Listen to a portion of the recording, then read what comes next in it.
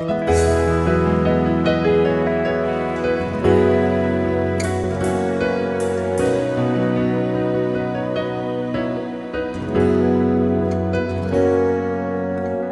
set the table with dishes made of clay.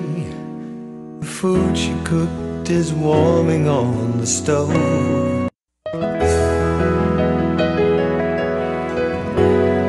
Unti-unti kong yung aking hininga. At habang ako'y nag-o-oxygen, ano, umiiyak ako kay Lord. Pero ang nasa isip ko, Lord, hindi ako mamamatay.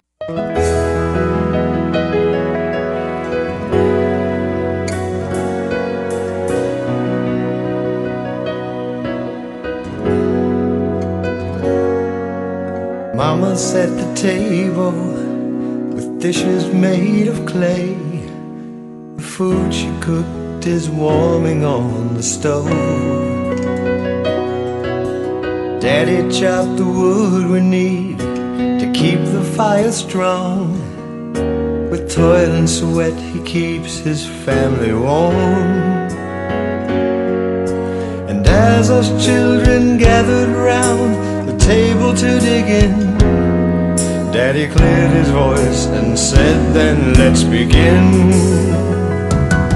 Let us pray on this day of our dear Savior's birth.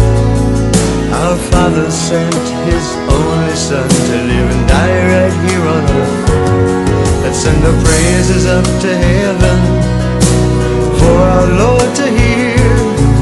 We never knew that someone's love could be so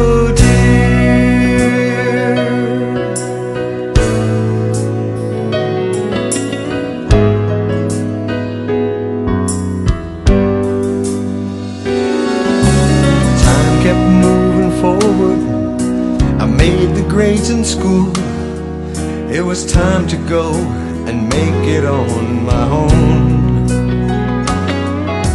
Set off for the world with values carved in stone. I never knew the emptiness of being all alone. Though I'm many miles away from the home I hold so dear, Daddy's words are there still ringing in Let us pray for this day of the dear Savior's birth. Our Father sent His only Son to live and die right here on earth. Let's send our praises up to heaven for our Lord to hear. We never knew. Ang testimony. Ako nga pala si Sorina Nazareno. Ang tawag po sa akin ay Sis Ganda. Amen. Kasi ang pananaw ko sa buhay ay puro maganda. Amen. Walang positive, ay walang negative. Amen. Ako po ay may tatlong, ah, tatlong anak na pinayayaan ako ng tatlong anak na pakatalino po. Ang tataba ng mga utak. Literal po silang matataba. Amen. At ako po ay 52 years old, single, single po. Um, si Lord, siya po ang kasama ko sa buhay. Amen. Ah, gusto ko po i-share sa inyo aking testimony. Noong 2016, may naramdaman ako na ito po'y kasagsagan ng aking pagsisilbi kay Lord. Masyado po akong, um, masyado po akong um, kumaglingkod kay Lord, masyado po siyang minahal. Amen. So, pero noong 2016, bigla na pong nagumuho ang aking mundo. 2016, may naramdaman akong kakaiba sa aking katawan. Ang katawan na ginagamit ko sa paglilingkod sa Diyos. At unti-unting nararamdaman ang panghihina at pagkapagod. Habang ako'y humahayo, nararamdaman ko ang aking sarili na mabilis akong mapagod. Mabilis akong hingalin, mabilis akong magkasakit. Ang sabi ko sa sarili ko, merong mali. Sa totoo lang po, pag tayo ay mas lalong lumalim kay Lord, lahat ay gagawin ng kaaway to distract para hindi ka makapaglingkod. At yun ay pilit niyang ginagawa sa ating buhay. Parang ako ay tumigil sa pagsiserve sa kanya. I was diagnosed tumor in my right thyroid. In short, isang bukol sa lalamunan. Noong una nalaman ko na may tumor ako sa thyroid, kasagsagan ito ng aking kay Lord. Bilang isang tao, hindi ko may tanggi na ako ay natakot. Normal para sa isang tao yun. Maski gaano man kalalim ang pananampalataya ko sa kanya. Natakot na panandalian lamang. Iniisip ko na malaking halaga ang kinakailangan upang maoperahan ako.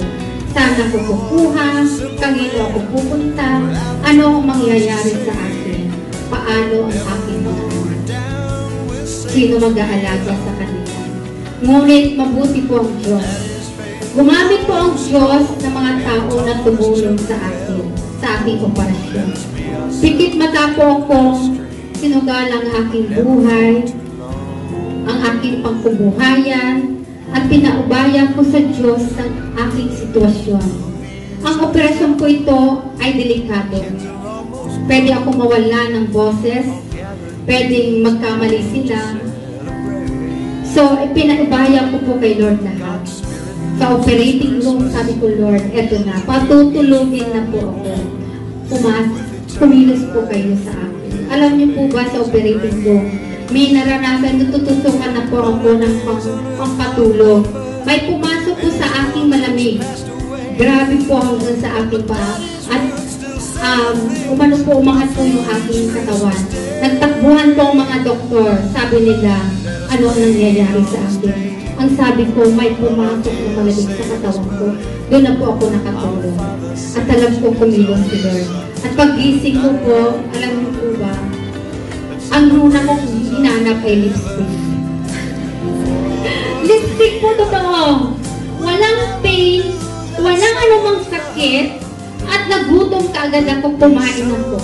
Amen? Ngayon po yung grace ni Lord. Alam niyo po ba, sa hospital, nakabayad po kami ng aming mga mga bills at 3 days to 4 days po. Ayan po yung picture ko.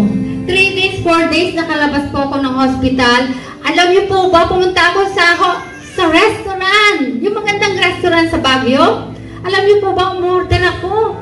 Umorder ako, napakarami po na in-order ko kasi ginutom ako sa hospital. Hindi nila ako pinakain. Ang sabi ko, sige, order tayo, bestie. Alam niyo, ang dami kong kinain.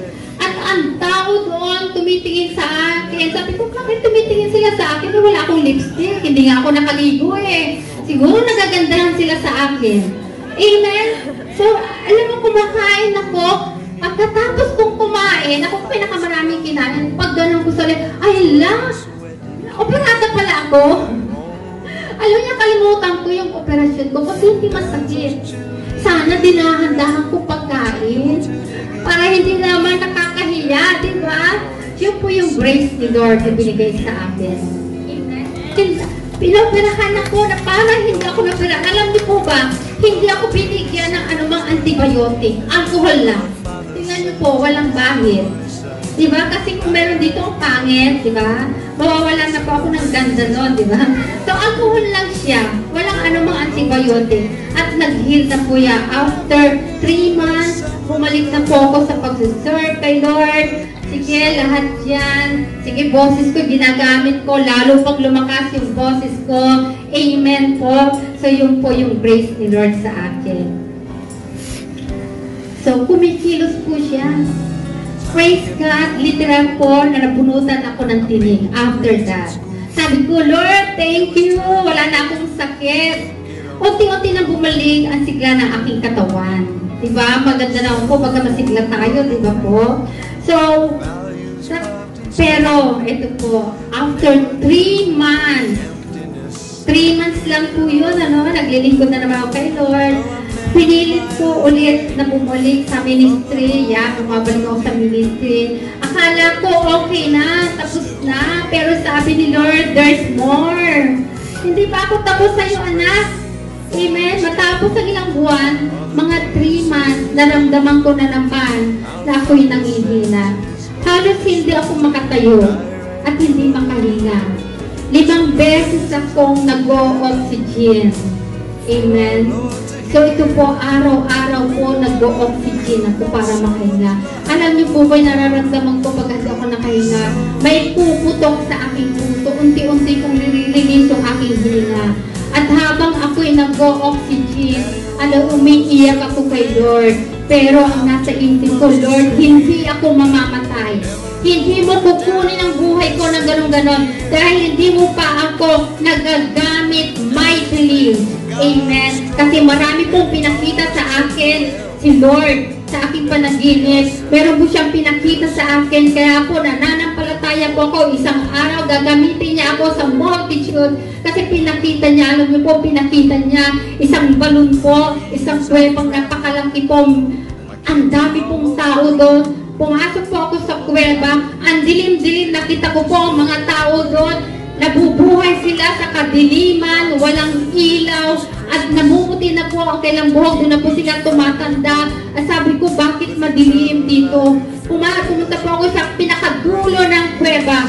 Alam niyo po ba, nakita ko may isang pintuan doon at binuksan ko po, pagbukas ko po ng pintuan, ang aliwalas po, ang daming punong kahoy. Sabi ko, lumabas po kayo dito. Dito po yung rain para lumabas po kayo sa kadiliman. Alam niyo po po, isang araw, nanampalataya po ako. Kaya po ako, pinurseso ako ni Lord. Meron naayos na sa akin. At sabi ko, Lord, gamitin mo ako. Lord, yung multitude, ibigay mo, Panginoon. Amen. Ito po pinanghahawakan ko. Kaya alam ko, hindi ako mamamatay. Lord, ang multitude. Yan po ang prayer ko. Hindi ko po pinag-pray na ako makahinga. Lord, gamitin mo. Amen. Muli nagpatingin ako sa doktor ng ultrasound, lumabas sa resulta, na-shock po ako. Akala ko bukol lang. Ito po ang bagay na pumasok sa aking isipan. Una, unang reaction ko, hindi ako makapaniwala sa sinabi ng doktor sa akin. Number two, paano ang aking mga anak? Hindi, paano sila mabubuhay na wala ako? Ko na pinagkatiwala sa akin ng Diyos? Kukunin ba, kukunin na ba talaga ako ng Diyos? Yan po yung pumasok sa aking isipan. Bakit ko inisip ang mga ito? Dahil ito po ang naging resulta ng aking test. Ito po, nasa, uh, meron po akong high cholesterol, pre-diabetic, low creatinine, pagka low creatinine, hindi na raw maganda ang aking liver. Reflux kidney, ako po'y umiihi ng dugo. Ang hirap po pagka umihi ka ng dugo. Halos pinakamasakit sa pinakamasakit. Hindi ko itong balakang ko, hindi ko mauga. Kaya pagka po babalik ako talagang umiiyak ako sa pain.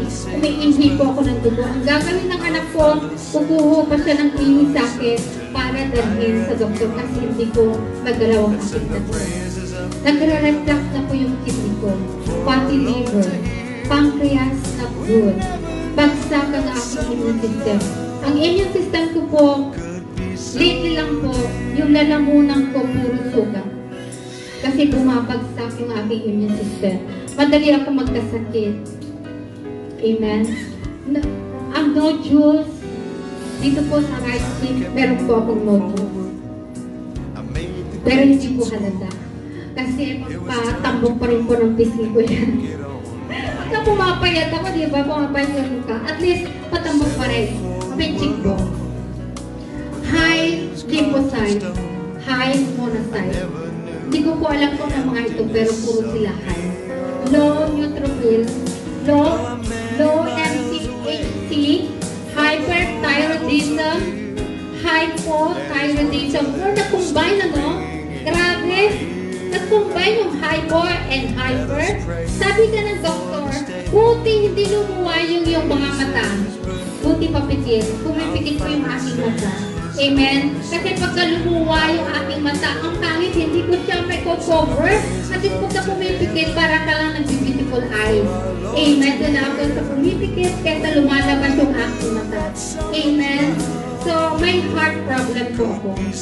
Kaya po ako nag-oxygen two solid nodules sa left and right ng node.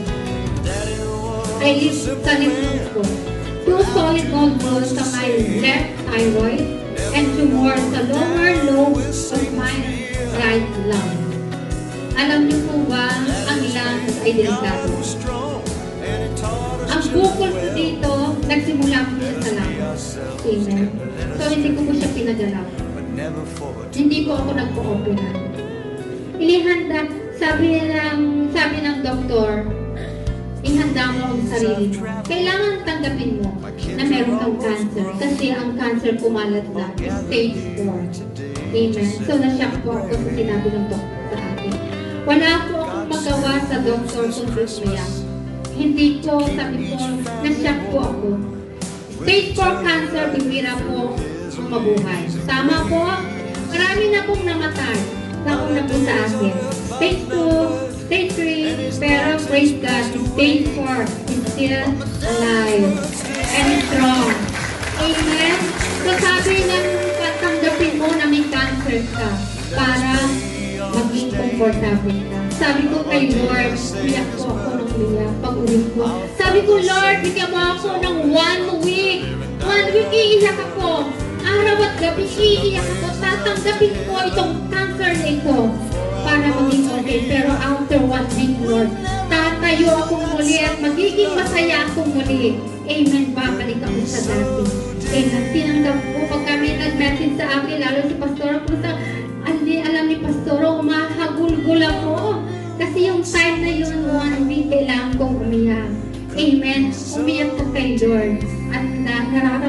ni Lord yung nararamdaman natin. Amen. Tayo po, kung sino po may mga sakit dito, kailangan po natin tanggapin. Umiyak lang po kayo ng one week, pero hindi lahat ng panahon ay iiyakan mo yung sakit na yan.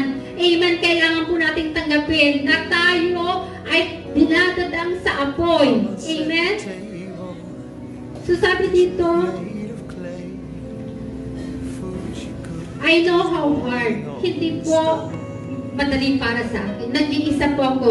Single mom po ako. I am faced with the reality that I'm in the battle for my life. This is the point in my life na wala ako matakbuhan. Wala ako maasahan, kundi ang Diyos. This was my breaking point. But I know God is control. Ang sabi ko kay Lord, salamat po Lord sa mga trials. For more than three years na po, I've been battling this sickness. I endured so much pain, yung pain ko na hindi kayang describe. Yung pain na, alam mo ba yung sasabog yung utak mo, lahat hanggang paa mo. Amen. I decided to undergo herbal chemotherapy at this point, and God is still so good. Dahil kinakailangan ko ng 60 to 78,000 naman. Pero sa, sa aking gamutan, pera pa yung mga supplement ko. And God provides. Yan po napakabuti ni Lord. Pinuprovide niya lahat. Dahil akala ko pag ako po ay nagpagamot, hindi nakakain na aking mga, ang aking mga anak. Pero mali po. Lalo niya pong pinrovide ang aking gamot at kumakain pa po kami sa gamot. Hindi ko alam kung saan ang gagaling pero meron dumarating mga sustento para sa aking gamot. I experienced a kind of pain that I could not describe. Yung pain na sabay-sabay po kasi ang pain. 24 hours yung sakit ng ulo na nilalagyan ko siya ng mainit na tubig para maisang pain. And then lahat ng nasa dalili ko, lahat sumusuka ako, gumagapang ako, papunta ng CR, dahil alam mo po ba, ako po yung may sakit na parang walang sakit na walang nag-aalaga sa akin. Ang hirap po na walang asawa. Amen? So, wala pong nag-aalaga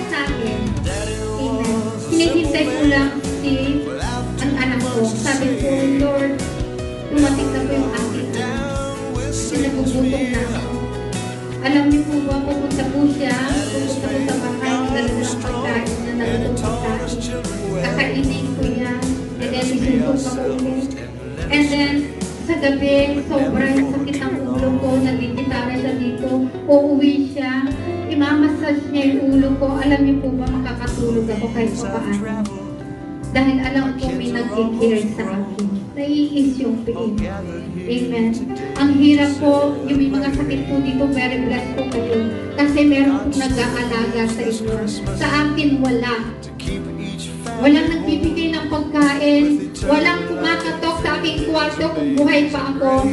Gumagapak ako papuntang siyan. Umiiyak. Amen. By the grace of God, nakayanan ko po lahat ito. Amen. Lord, ang ko.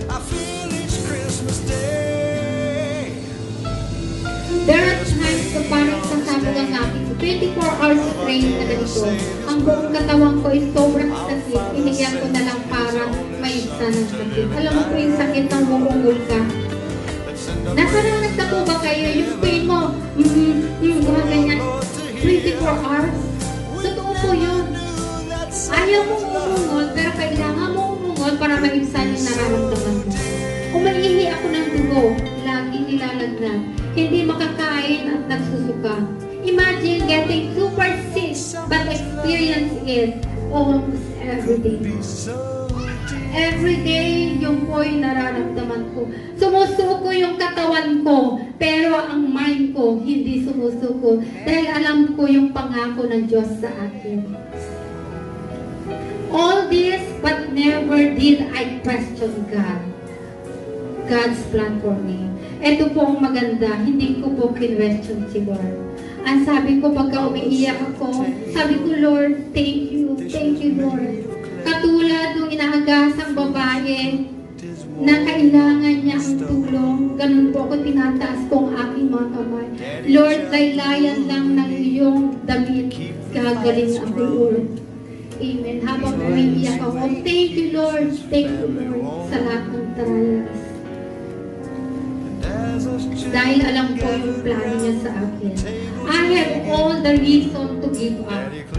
But what I did is came into the wills of God. Nagpatuloy akong magpasalamat sa Diyos. At walang lumalabas sa aking bibig kundi ang pasasalamat sa Panginoon. And then one day, I just started process of accepting.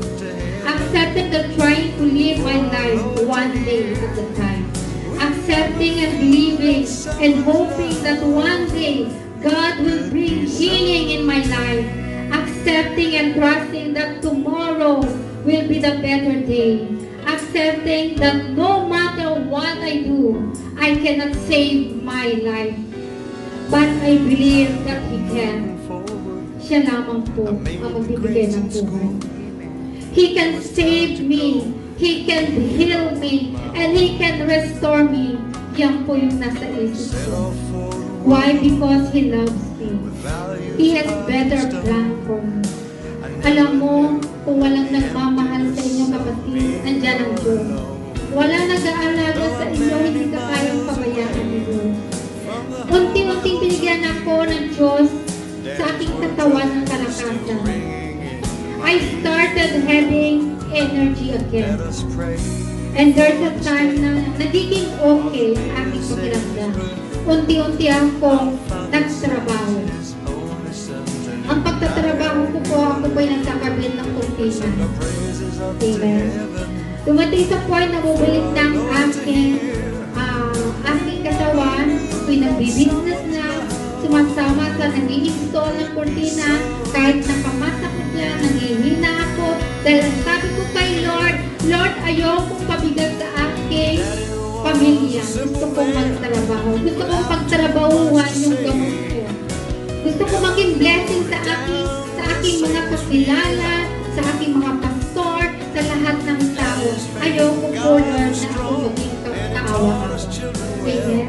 Alam niyo po ba, tayo po ay hindi po natin kailangan magmakaawa.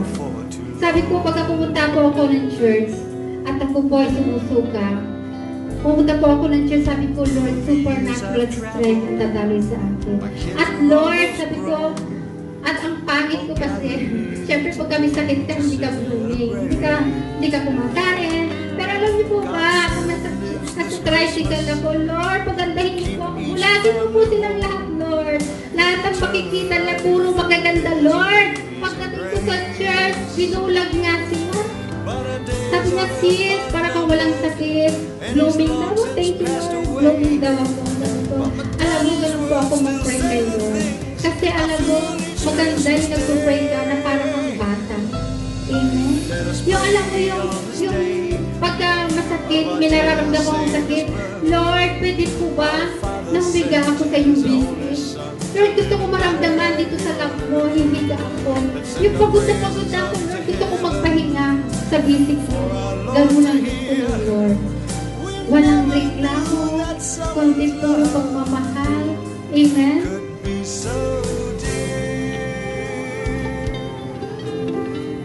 Ano ang aking mga ginawa nung time na ako ay nagkakasakit?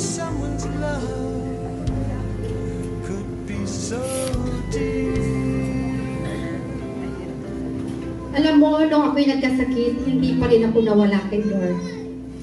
Ang mga ginagawa ko nung ako ay nasa proseso, una, every time na may client ako, I make sure na ma-share ko ang goodness ni Lord sa buhay ko at kung paano siya kumilos at paano niya ako binigyan ng kalakasan. Lahat po ng papasok sa aking ah, business, doon po ako, may sakit po ako, may tapan po ako dito, nakaupo lang po ako doon. Iniiwan nila ako mag-isa at pagka po merong kliyente, para po akong robot na tatayo. Amen? At alam niyo po ba, hindi pwede, Lord, ito yung aking ministry ngayon. Hindi ako papayag na hindi ko ma-share yung goodness mo sa mga tao ito. Kalakasan nila. Alam mo, sinishare ko. Alam mo, marami pong pupunta sa akin doon, umiiyak ng mga problema. Ako pa nag advise sa kanila. Amen? So, kalakasan po, inukuha ko kay Lord yan para i-share. Marami pong mga pastor na pumunta po sa akin, sa aking sa aking pwesto. Binibigyan ko sila ng mga Bible. Sinishare ko yung goodness ko. At ito po ang kapalit, pinag-pray po nila ako. Amen. Hindi po ako naging kaawa-awa sa paningin ng tao. Marami akong nakakausap. Marami akong uh, nai-lift up sabi na, butik pa ikaw, may cancer, samantalang ako masakit lang ang ulo, may iyak na. Amen? So, yung po, yung, yung kahabagan ni Lord na binibigay niya sa akin. At pangalawa pong ginagawa ko, dumadalaw ako sa may mga sakit. Nakakilala ko. Para sila ipag-pray, para sila bigyan ng kalakasan. Amen?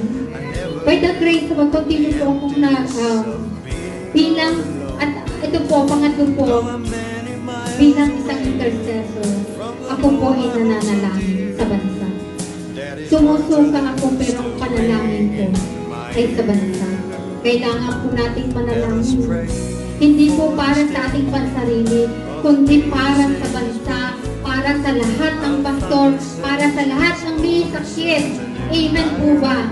Yun ang prayer ko every day habang nasa CR ko. Umiiyak ako kay Lord. Lord, yung pamilya ko, salvation na hindi pa nakakilala. Iniiyakan ko yung mga kaluluwa na yan. Iniiyakan ko yung aking 12, aking 1 to 4. Lord, yung multitude. Lord, ang dami pong masasama. Ang dami pong Lord na nangangailangan ng prayer. Yan po, ini-invest ko yung time ko doon. At least may ginagawa ko ako habang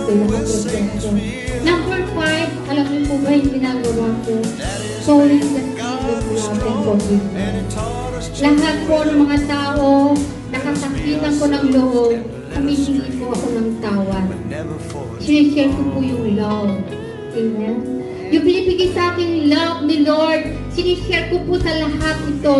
At ang dali ko po, pagka po ako um, nasaktan, alam niyo po maganda ang Holy Spirit.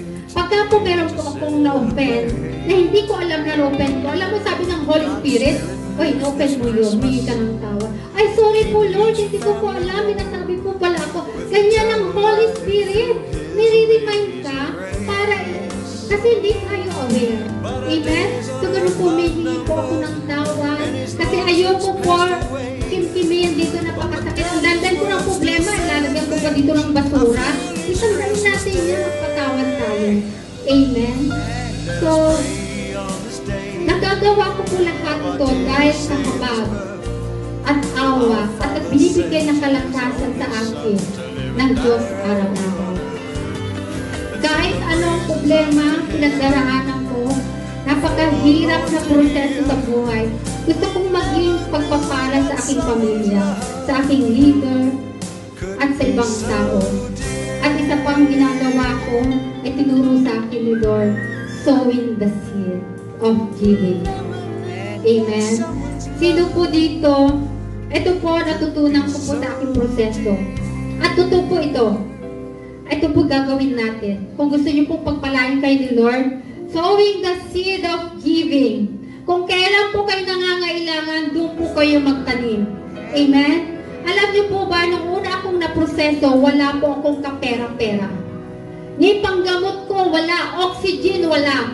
Pero nung nagbigay ang aking 12, unang nagbigay ng pera ang aking 12, sabi ko, ito po ang mindset ng tao. Sige Lord, iipunin ko ito, yung 20,000 na to, iipunin ko para pumunta po ako ng Manila para magpagamot. Pero bumulong po ang Holy Spirit, itanim mo yan. Umiiyak po ako, sabi ko, Lord, sige, susunod ako. Kasi iipunin ko ito kulang. Amen. One time lang yun. Pag itutunin ko yun. Pero susunod po ako. Alam niyo po ba, sumunod ako. Itanim, tinanim ko po yan. Alam niyo po ba, hindi po ako um, nawalan. Of course, pinagpala niya po ako. Amen. Lahat po dito na nangangailangan ng pera, alam niyo po ba, yung pagtatanim, grabe, ang balik, grabe. Pero pagka nagtanim ka, huwag kang mag-expect. Kasi wait.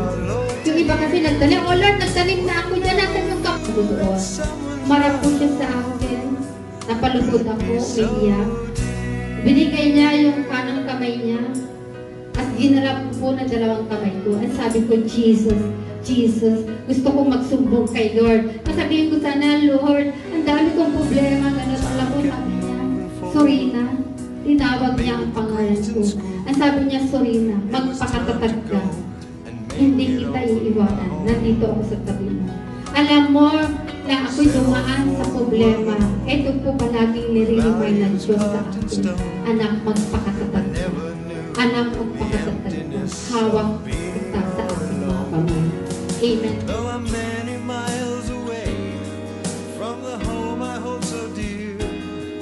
Daddy's words are there